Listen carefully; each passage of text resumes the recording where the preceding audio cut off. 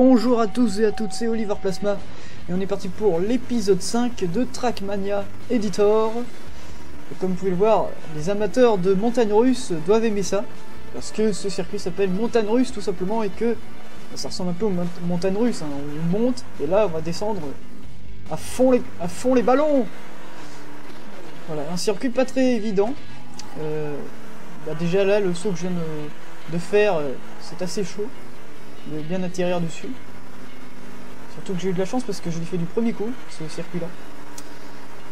Et euh, en faisant le montage, hein, bien sûr. Donc euh, en fait, il n'y a pas trop eu besoin de faire un montage. Mais c'est pas grave. Comme vous pouvez le voir, là on voit des spirales à moitié. C'est... On tourne, on fait une espèce de looping, voilà, de côté. Et voilà, le circuit est déjà fini. Et bien sûr, c'est Trackmania, souvent on fait des circuits assez courts, et je peux pas faire des circuits non plus extrêmement longs sur Wii. Peut-être que sur PC on peut faire euh, plus long, je ne sais pas, je n'ai pas en- encore essayé. Pour tout vous dire, les épisodes de Trackmania Editor, je les fais à la suite là. Et vous voyez, voilà, ce saut là, voilà, c'est... J'ai eu vraiment de la chance là, puisqu'on peut vraiment euh, glisser, mais très facilement, surtout avec ce véhicule, qui tourne un peu trop, à mon goût.